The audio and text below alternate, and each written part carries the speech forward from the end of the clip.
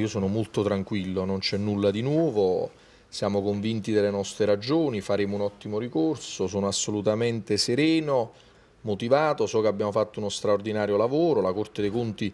considera un arco temporale molto ampio, noi siamo in pieno riequilibrio da solo un anno, da solo due anni governiamo, in questi due anni abbiamo fatto qualcosa che anche per me che sono ottimista stentavo a crederci che ci potevamo riuscire, dalla ristrutturazione delle partecipate, dall'abbattimento della lentezza nei pagamenti, agli investimenti che crescono, al turismo, a un'economia che si è rimessa in moto, alla riduzione delle partecipate, l'abbattimento delle delle dirigenze, l'eliminazione delle consulenze esterne, insomma abbiamo messo in atto una rivoluzione, la Corte dei Conti fa una sua valutazione e quindi interviene in un certo percorso, il percorso continua, andiamo avanti, siamo ottimisti,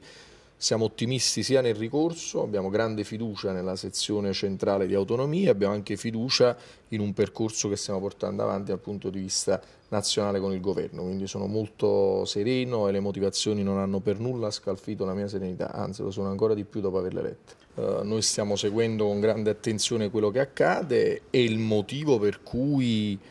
adesso forse si può comprendere bene come il rapporto diciamo, tra il Calcio Napoli e il Comune sia un rapporto diciamo,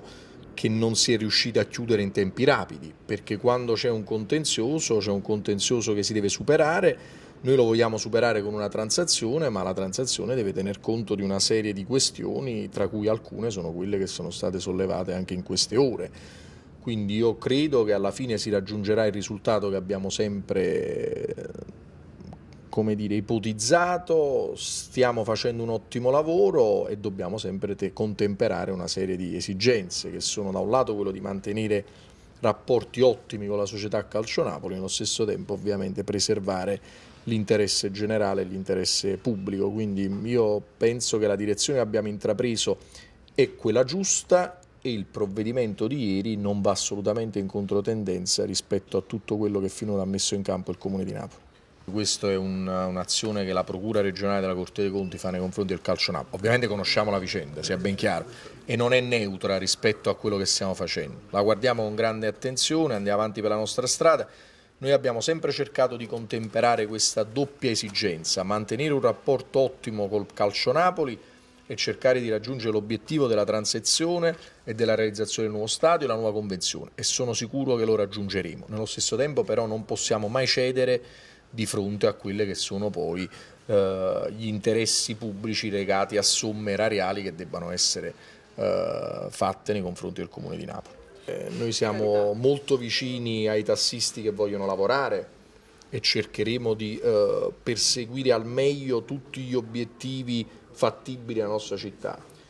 il tassista ha la stessa importanza del, dell'operatore della ETN o della metropolitana. Noi puntiamo tantissimo sul servizio pubblico, li voglio rasserenare, quindi che c'è un'amministrazione che pensa a loro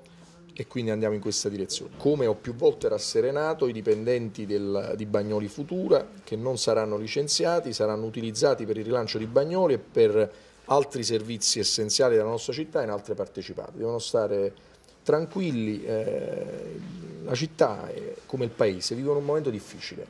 Nei momenti difficili bisogna essere vigili, non bisogna perdersi d'animo, rimboccarsi le maniche, avere fiducia in chi rappresenta le istituzioni in questo momento a Napoli con tanto coraggio e tanta determinazione. Avremmo potuto mollare tante volte, quindi non molliamo e soprattutto non molliamo adesso che stiamo cambiando la città. La stiamo cambiando radicalmente, strutturalmente, stiamo incidendo nei gangli che l'hanno massacrata corso, nel corso degli altri anni, quindi siamo molto fiduciosi i dipendenti e i lavoratori devono sapere che con mille difficoltà c'è stato un sindaco che fino ad ora non ha consentito operazioni di licenziamento,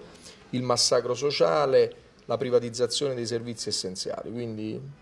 ci devono anzi aiutare, ci dobbiamo aiutare reciprocamente. L'amministrazione deve avere il sostegno nelle sue battaglie e noi dobbiamo stare vicini ai lavoratori, così come sto vicino ai lavoratori che ho incontrato ieri, così rassicuriamo anche loro delle cooperative sociali e dell'assistenza domiciliare. Stiamo facendo un grande lavoro per cercare di evitare che anche in questo caso la crisi venga pagata dai cittadini più deboli, che sono appunto i disabili e quelli che meritano assistenza, e dai lavoratori che stanno al loro fianco. Quindi faremo di tutto, anche quando non c'è nostra competenza, perché se non ci arrivano i soldi alla regione, o se ci sono i tagli, o se non ci approvano i piani di riequilibrio, insomma noi veramente dobbiamo fare i miracoli e noi cercheremo di attrezzarci non a fare i miracoli perché non siamo in grado di fare, ma a mettere in campo veramente ogni iniziativa perché sappiamo la disperazione e la giustizia che sta in alcune di queste battaglie che abbiamo citato. Quindi dobbiamo essere tutti uniti e mettiamo da parte le bombe carte.